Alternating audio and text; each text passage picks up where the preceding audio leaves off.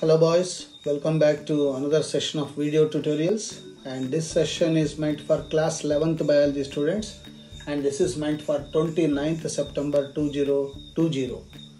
We were into chapter number 22 chemical coordination and integration. If you recollect from your memory, it helps you to understand that we were talking about endocrine system, particularly our own human endocrine system. And in that, we were talking of various glands. We listed the glands of endocrine that are present in our body, their location, and the hormones that they secrete. Now, continuing with that, we talk of hypothalamus. Hypothalamus is uh, considered as supreme commander, as I said yesterday, of endocrine system.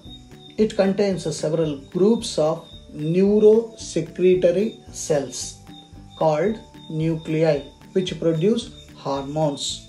These hormones regulate the synthesis and secretion of pituitary hormones. That is what we are going to talk. And hypothalamus serves as an anatomical connection between neural system and endocrine system. This is important. To begin with, in this chapter, we were talking about the nervous system and the endocrine system. What is the connection between the two systems? That's why this is the anatomical link, uh, the hypothalamus.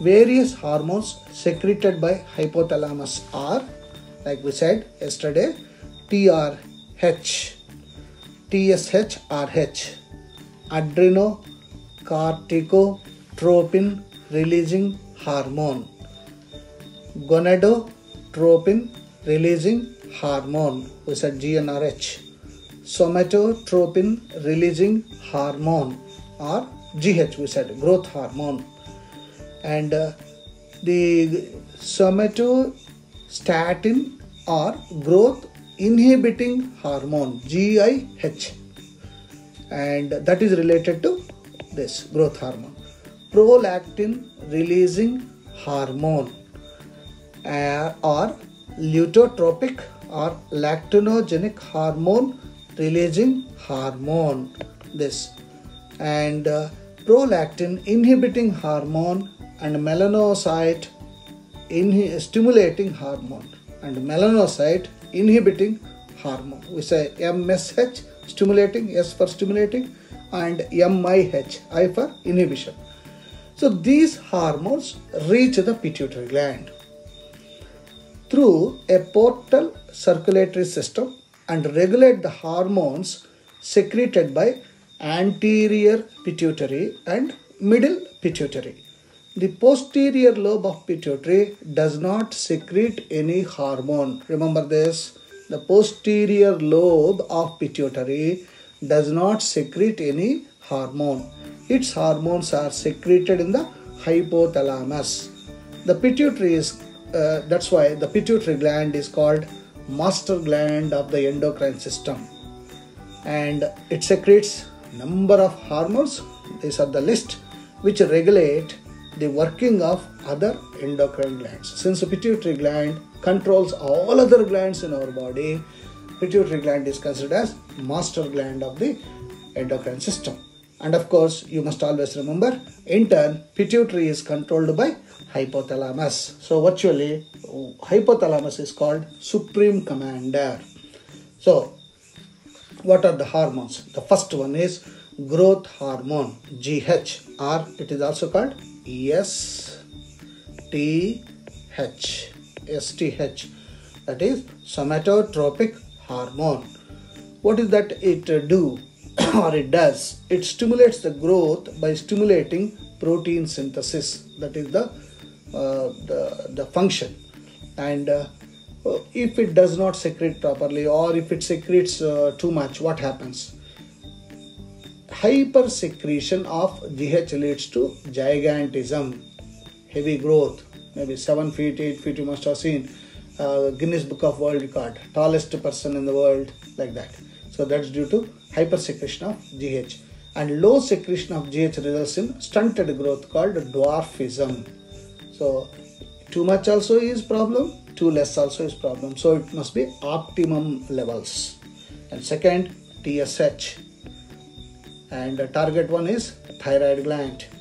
And it uh, secretes thyroid stimulating hormone. As the name suggests it uh, stimulates the thyroid gland. And uh, once it stimulates the thyroid gland what does it do? Thyroid gland will in turn secrete two hormones T4 and T3 what is uh, T4 it is thyroxine and triiodothyronine T3 it regulates the body's metabolic activities. In specific again we'll deal with this uh, T3 and T4 and then the third one is ACTH adreno corticotropic hormone. Adreno corticotropic hormone ACTH and uh, what is the target one? Adrenal glands. What does it do? It stimulates the production of steroids by adrenal cortex. So it stimulates the adrenal gland to produce uh, glucocorticoids. And what about prl prl again a target area is the breast. It stimulates the growth of mammary glands and formation of milk and lh luteinizing hormone so it stimulates development of corpus luteum and ovulation in female. So target area is in case of men testis, in case of women ovaries. So LH and FSH follicular stimulating hormone or follicle stimulating hormone. It stimulates gamete production, secretion of sex hormones, development of follicles and of course the interstitial cell stimulating hormone also. It stimulates the Leydig cells of testis and induces secretion of testosterone. So these are the various important secretions that LH will ensure. Further we continue. FSH just now we said follicle stimulating hormone so the target area is ovaries of the woman. It stimulates, stimulates growth and development of the ovarian follicles in females. So it stimulates gamete production, secretion of sex hormones, development of follicles. Three important works FSH is doing. And uh, next, MSH, melanocyte stimulating hormone. Melanocyte stimulating hormone. And what is the target area? Melanocytes present in the skin. What does it do? It controls dispersal of melanophores in skin in vertebrates and uh, in man it is a bit doubtful and this stimulates the production and release of melanin which regulates pigmentation of the skin. That is if melanin is more the skin will be black. If melanin is less skin will be fair. And uh, hypersecretion as well as uh, hyperpigmentation also will be the disorders of this. And of course this is uh, middle lobe of the pituitary will secrete the MSH and next hormones from posterior lobe that is neuro hypophysis of the pituitary. First one is oxytocin. The message is over. Now oxytocin. Uh, the target area is uterus and uh, breasts in female. It stimulates the secretion of milk from breasts mammary glands. Causes contraction of uterus at the time of childbirth that's why very very important one oxytocin.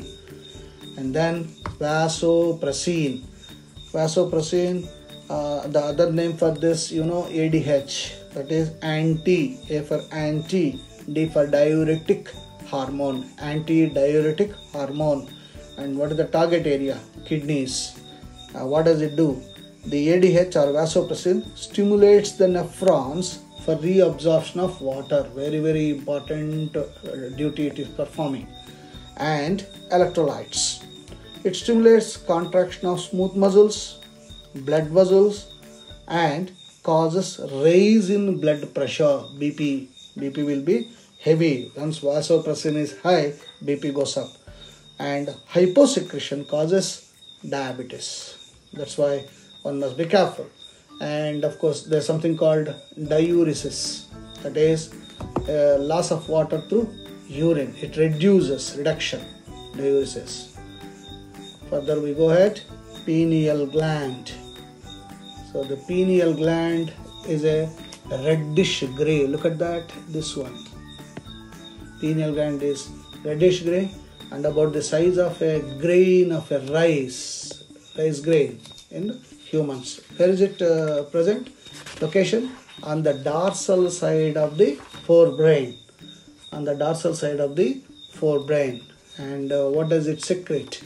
Melatonin. The hormone that is secreted by pineal gland is melatonin. And uh, function it affects the modulation of sleep patterns very very important in the circadian rhythms and seasonal functions so melatonin is a must to have a nice sleep and if there is any disturbance in the production of melatonin there is disturbance in our sleep cycle and very very important function another important function it helps in maintaining the body temperature. So any disturbance fever will come to us. And then it influences metabolism, pigmentation, menstrual cycle in females as well as our defense capability that is our immune system. That's why pineal gland though it is very very small it is performing very good functions like metabolism your digestion pigmentation color menstrual cycle as well as immune system defense capability. Hence the pineal gland is also performing very very good functions.